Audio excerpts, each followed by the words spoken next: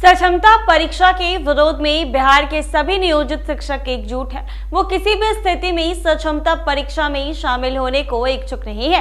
इन शिक्षकों द्वारा परीक्षा के विरोध में मशाल जुलूस निकालकर प्रदर्शन किया जा रहा है। विभाग से स्तर से कार्रवाई की कड़ी चेतावनी के बावजूद शिक्षक मूड में हैं और आंदोलन को वापस लेने का नहीं सोच रहे हैं। इधर, सीतामढ़ी ज़िले में सक्षमता परीक्षा के विरोधियों को डीओ चिन्हित कर कार्रवाई का डंडा चलाने लगे हैं। डीओ प्रमोद कुमार साहू को सोशल मीडिया से यह खबर मिली है कि ज़िले के सभी नियोजित शिक्षक 13 फरवरी को पटना में विधानसभा का घेराव कर रहे हैं। डीओ ने कहा है कि ऐसे धरना और प्रदर्शन वाले कार्यक्रम में शिक्षकों के शामिल होने की मंशा से यह स्पष्ट होता है कि विद्यालय में शिक्षण कार्य को बाधित करने की कोशिश की जा रही है। ऐसे में डीओ ने कहा है कि संबंधित शिक्षकों द्वारा अन्य शिक्षकों को भी धरना और प्रदर्शन में कार्यक्रम में शामिल होने को उकसाया जा रहा है। शिक्षकों के घेराव कार्यक्रम को लेकर डीओ काफ़ी गंभीर है। उन्होंने कहा है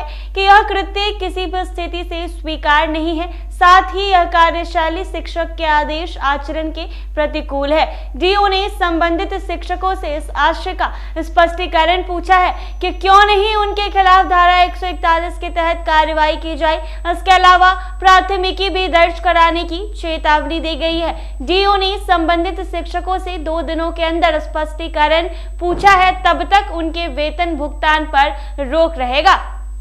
जिन शिक्षकों के वेतन भुगतान पर रोक लगाकर उन्हें स्पष्टीकरण पूछा गया है। उनमें डुमरा प्रखंड के विकास कुमार, पवन कुमार, बिपिन कुमार, महफूज आलम, श्याम कुमार सिंह, अरविंद कुमार, रीगा प्रखंड के आमोद मधुकर, राजेश कुमार और कई लोग शामिल हैं। जी हाँ इनके साथ हैं साकेत कुमार और नवीन कुमार, प्रकाश कुमार और राम कुमार समेत अन्य लोग शामिल हैं। ऐसे में नियोजित शिक्षक लगातार सक्षमता परीक्षा का विरोध कर रहे हैं। वो कह रहे हैं कि हम इस परीक्षा में नहीं बैठेंगे। हमें ऐसे ही राज्यकर्मी का दर्जा दे दिया जाए। लेकिन अब ऐसे शिक्षक जो कि इन बातों को छोड़कर धरना प्रदर्शन में शामिल हुए हैं, विधानसभा का घेराव किए हैं, उनसे पूछताछ जारी रहेगा और पूछताछ तक वे वेतन बंद रहेगी। जी हाँ वेतन नहीं देने का जो फैसला है, वो लिया गया है। ऐसे ही तमाम अपडेट्स के लिए बने रहे एनबीसी 24 पर। अगर आप ये वीडियो फेसबुक पर देख रहे हैं तो पेज को फॉलो कर ले यूट्यूब पर देख रहे हैं तो चैनल को सब्सक्राइब करना ना भूलें।